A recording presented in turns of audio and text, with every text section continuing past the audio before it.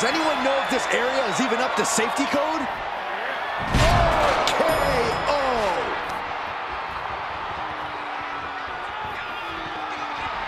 Can't quite get him there. And that was offense with a hurtful purpose. Scoop slam. No room for error when you're surrounded by all this steel and concrete. Ooh, European uppercut. That one busted up Undertaker. Oh, a nasty stop to finish it off.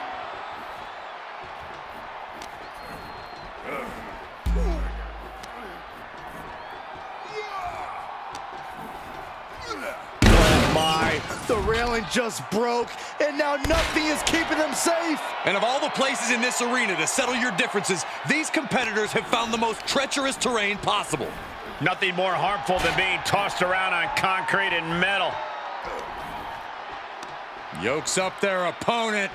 Driven down with a sidewalk slam. Oh man, this is a very dangerous place to be duking it out.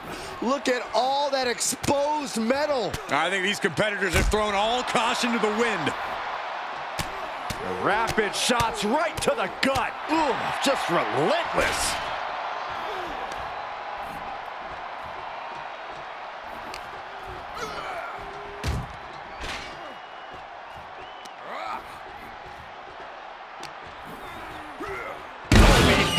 Somebody get them out of there! They're going to fall over for heaven's sake! Look at this. Boom. Nice. And remember, guys, this is a loading dock area. This isn't built with any safety precautions in mind. Say what you mean, Cole. No one's supposed to be up there.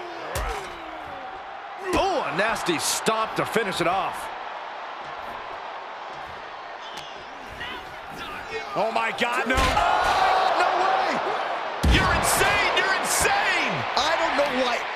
Anyone would jump from that height. Their head was nearly touching the ceiling. Big forearm. I know that area wasn't meant for this kind of stress. Who knows if it's even meant to hold that many people? Could collapse at any moment.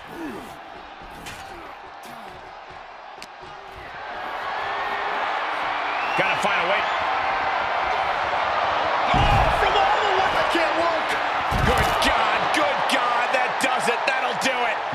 A certified nutso to fly down onto that unforgiving floor. Holy, careening right through the glass window. Oh, God, right through the window. There's shattered glass everywhere. Sent straight through the glass. What destruction! Oh my, they just shattered the glass window. He's got The and it looks like the gunslinger's... RKO! The Apex Predator showing no concern for his opponent.